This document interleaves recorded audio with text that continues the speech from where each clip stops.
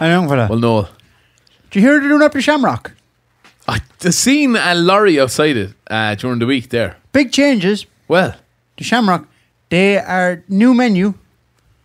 They're going doing take away my wadgie. okay, okay. You bring your own water. they'll, they'll just trim the dash. Mark will give you the dash. It's gonna be huge. It's going to be massive. Some people are doing takeaway pints, but nobody's doing take away my waddy. Were you up there during the week? I wasn't. No? I'll tell you about it later. Okay, come in. They are also going to try and install some sort of anti-thong device. and not, not to be getting carried away, but there, there is talk Okay. of them taking down the Christmas lights. That'll be a big step. You know what I mean? I hope you don't listen to this. Uh, But uh, the, the pubs, the pubs need, the pub need a hand. Yes, yes, yes. You're getting fucking Pubs bad deal. The pubs are getting road, yeah. And I tell you, and I said it to you, there's no point bringing back the Junior B Championship until the pubs are open. That's true. Win a match. Oh, I'll just toddle home to my darling family. Last time I won the South Championship, I woke up in Rosmuc with a statue of Padre Pio handcuffed to my ankle and a naked Eddie Hobbs standing over me with a shotgun shouting, Where's the trout? that was a session. Eddie Hobbs. That was a session. How did you get embroiled with Eddie Hobbs? I don't know. He brought me back to his pub, right? Yeah. And I got in a row with a woman. Uh. She said, You have no hope of winning that county final. And Eddie said, She's clairvoyant. I said, I don't give a fuck if she's clairborn. I'm going to win this match. In fact, that's very good. news. Yes. News here in Ireland. The government and the Green Party are going cutting back the missions. Have you heard this? No. Yeah. The big, big new thing now. The missions. Yeah. You sure it's not emissions? I don't know about that now. I don't agree with this. I think if the priests want to go to Africa and do a bit of work, they off. I think. But no, no, I know what you're going to say. You're going to say, we need a priest here. We're not exactly spoiled for choice. But that wasn't what I was going to say. But yeah. Fucking Father Joey above. He's on the computer doing mass. Yeah. Like he's your man DJ Salad. Or whatever, whatever his name is. What did, missions? What did you call him? No, emissions. Oh, it's gone online, is it? No, no. It's amazing what they can do now. Isn't that amazing? Jeez, you can do it online now. There's people I- meeting people and finding people and uh, Dan is after meeting this one, Dan Bryan, Okay. and he's going doing a duet album with a woman, Right. Lovely. Amanda Ryder. He met her online. I'd say. I can see where this is from. Do you know Amanda Ryder? No. She was a great band with her. Actually. Uh, she have um, on bass guitar is Willie Harding. on keyboards is Willie Moore. And on lead guitar then is uh, Willie Burns. but I tell you, Amanda is well able for three Willies. They're in the game a long time, and you know they've been trying to put a fast one on her. yeah. But Amanda is well able to handle three Willies, but I'll tell you that. And on the drums is Buster Cherry. He's been with her from the start.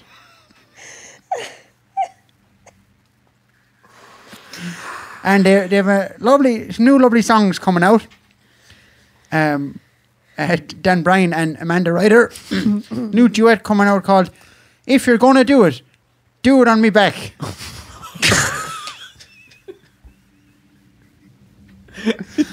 and uh, on a great track called Bus Éireann Took My Lover. And there's a song called I Wouldn't Take Her to the Mart. if I could shit money, I'd shit on you. And there's another romantic, a heartbreak song called She Got the Lift, I Got the Shaft. Dan Bryan and Amanda Ryder. Coming soon. Well, I don't know, did he? did Dan Ryder? Did he? What? Does the Pope shit in his hat? so keep an eye out for that one. More news. Yes. Another another bit of news. Japan. Japan. They eat a lot of fish Yeah. and they can do backflips. Right? Jap- Japan invented judo, jiu-jitsu, Toyota, Honda, Panasonic, Nintendo, and karate. Wow. I got into a row with a, with a fella one day in the co-op. I was fixing a, a crush for Frank Dwyer. You know Big Frank? Yeah. Hefty Dwyer, yeah. And your man hadn't to get ready when I went in, and we ended up in a row. And it wouldn't be like me. Yeah. But he said, Don't start, Anton. I know karate. And I said, Well, well I know Frank Dwyer. And if Hefty don't get that crush finished this evening, he's going to shove the arc welder so far up your hole, you'll be toasting marshmallows while you're eating them. but I have a lot of respect for Japan. Lovely people. Lovely people. The Japanese. Always said that. Very clean. Very clean people, the Japanese. Taste is spotless. Which is why I'm so surprised. The Japanese have been caught dumping rubbish. Do, do you know the nuclear station? And there. Japanese, very clean people. Do you know the nuclear station? Oh, wow, wow. Do you know the, the nuclear? Uh, no. The nuclear, and I don't mean Tipp FM. It's on fire. Fukushima. Who? Do you ever hear of Fukushima? Uh, uh, I did, yeah. what went on there? It was blown up, was it? Yes. Yeah. Well, there, was an earthquake and fucking thing went haywire. Yeah. And there was a, a nuclear power station, and they, they were going dumping this contaminated water into the ocean. And Yes. of course, the neighbors went going fucking berserk over it. South Korea, right? They got so angry, they shaved their heads. Now, I don't understand it either. But this week, 30 women shaved their heads outside the Japan embassy in Korea to Wow. show how angry they are at Japan. Typical women. They couldn't just say it. Had to go over the top.